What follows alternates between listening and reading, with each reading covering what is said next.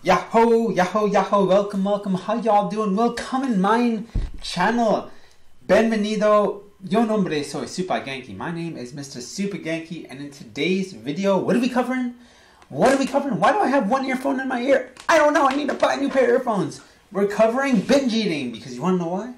I said that I was going to take this channel, this challenge, in that direction. I said I was going to take this channel in that direction. I was going to take a challenge to see if I could overcome overcome the urges to binge. And guess what's happening right now? Guess what's happening right now? I'm going through a big, big, big battle. Where? In my mind. Now, I already talked a little bit about this. Binge eating is a disorder, an eating disorder. It is an addiction to eating, and this is not productive for your body. I have been doing binge eating. I have been eating copious amounts of food pretty much my whole, whole, whole life, ever since I was a little kid. I used to be a cute, skinny kid. And then you know what happened? I started going to restaurants and I, started looking at my family's food and I'd be like, Are you done with that? Can I have your leftovers? Can I eat that food? And they're like, Oh, he's so cute. He's eating all this food. And as I was scarfing this food down, they're like, Oh, it's so cute. And I'm just like, Rum, rum, rum, rum. That shit didn't go away. That shit did not go away. And developed all the way into my early adulthood, into my early adolescence. Into I don't even know how, what I am right now because I'm like 24 years old, going on 25. But um, dude, I'm not 25 yet. There's still time. There's still time to save this brain development curve. I don't know, but point I'm trying to say is that I'm having an urge to binge right now, and when you're having urges to binge, it's usually because something's going wrong in your headspace. Now, recently, I don't know if you've seen it, but I've definitely been toned into what's happening in America right now. Stuff is whack. Stuff is whack everywhere, especially in Atlanta, Georgia right now. If you don't know that stuff, I recommend going to Timcast's channel and watching one of his most recent videos talking about what happened in Atlanta. It's informative, it makes sense, it shows you the facts, and you know, I'm over here in Spain, I'm looking at all this stuff, I'm like, wow, man, can't travel to other nations. Got to go back to America. America's burning to the ground. Like, everything is going wrong. What am I going to do, man? I'm running out of money, too. I'm running out of money. Don't have a job. I'm here in Spain, man. I'm going crazy right now. A little cuckoo. I'm not crazy. Y'all crazy. I'm normal. I thought of that the other day to try to make myself feel like I was normal. But, you know, a lot of stuff is going through my head right now. And usually, when you want to binge, when you want to engage in a self destructive habit, right? You want to run, run, run, run, run. It's usually when you're not feeling great. Because when you're feeling good about yourself, you don't want to destroy yourself. You want to destroy yourself when you're not feeling good about yourself. Because that gives you control over your feeling. You see, right now I'm thinking about external things, external forces, things that are not in my control, but are affecting my headspace, are making me negative, are making me overthink, are making me scared for the future all these external factors are bombarding my mind right now. Like bam, bam, bam, ow, bam. Why am I hitting myself? I'm doing it because it's actually happening right now, right?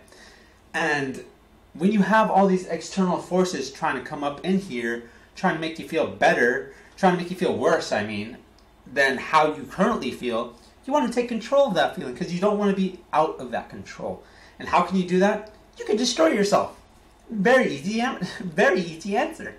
Destruction of the self gives you control of the self, and even though you realize it's not positive, it's not productive, it's not optimistic, it doesn't produce any gains, it does help take your mind off of the negativity.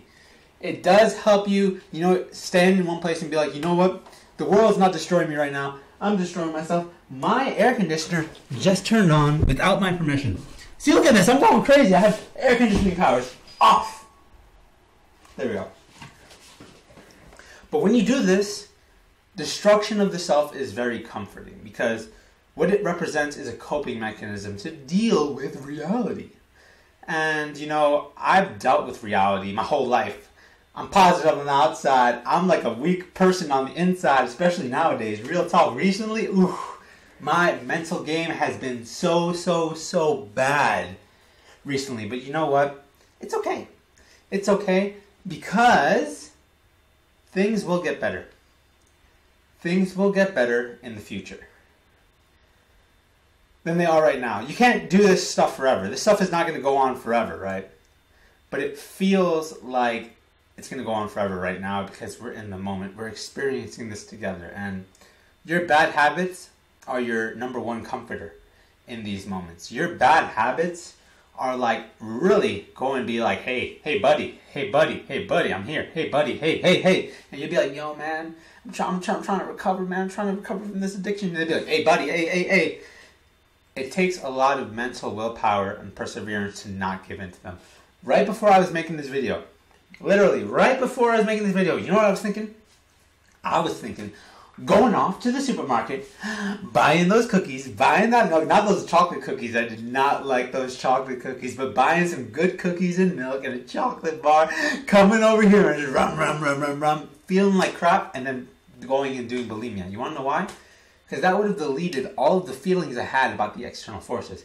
It would have created internal turmoil that's in my control because I've done it so many times. I've been in that state of mind so many times. I know how to deal with the internal thoughts. I know how to recover myself from these internal, like, bombs that I'm dropping on myself with my actions, right?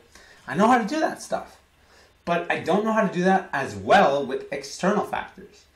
I have not become accustomed to dealing with external factors since quarantine happened. It really shook me up, and I've never been really that great with dealing with external factors because right now it's really, really bad. Like, if you watch what's happening in America right now, it's really, really, really bad stuff. But I said I was going to start taking this problem more seriously, and that's what this video is today. Because everyone, we're not alone. You're not alone. I'm not alone. We're all going through something. And the solace is this I ain't ever going to be famous on YouTube. Never. There's like 0% chance that I'll ever be famous on this platform, but that gives me a lot of room to just make content and to be myself, be myself on camera with the expectation to know that, you know, no one's to watch this video. I swear, no one is going to watch this video. And I know this because the recent videos I posted got like one view. One view! I have like 850 subscribers and like one view in like 16 hours. Crazy. I mean, I know what I did. I know what I did. I went over and just like talked to people and asked them to subscribe to my channel. I don't really know if there are any avid watchers of YouTuber, but y'all are avid watchers of YouTuber. I'm an avid watcher of YouTuber. I'm an avid watcher of YouTube. I know how this works because when you're dealing with crap, what do you do? You watch videos. It helps take your mind off of the crap you're dealing with. Same thing with the eating. And this is my day two battle. I didn't have to film a video for day one because yesterday was actually a pretty good day. But I'm not going to do this every single day. I'm only going to do this whenever like I'm really dealing with a battle in my mind. I'm like, wah, wah, wah, wah, wah. Like, get away from me, binging. Wah, wah, wah, wah, wah, wah, wah, wah. You know? I don't do that very often.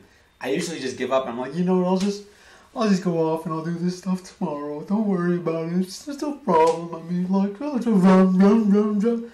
That's how I usually am. But real talk. Real talk. I haven't used real talk a long time. Real talk.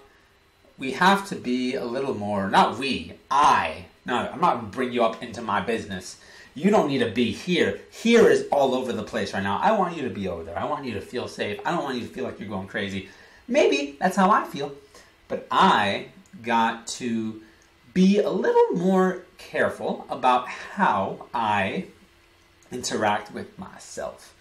Because I think the biggest mental weakness that I have right now is not believing in myself and just giving into these habits to make myself feel better. Not like going to these mental mechanisms inside my body that I formed over many years of traveling around the world, just going back to the old stuff, the easy way out. You know what I mean?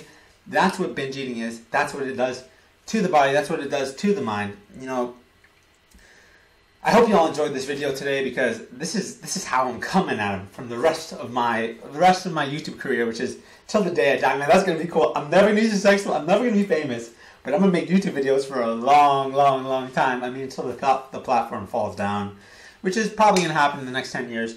But hey, YouTube, thank you, buddy, for letting me make these videos. Even though you, your algorithm doesn't really, even though your algorithm doesn't really favor me that much, I'm okay. Let's do this together. My computer just turned off.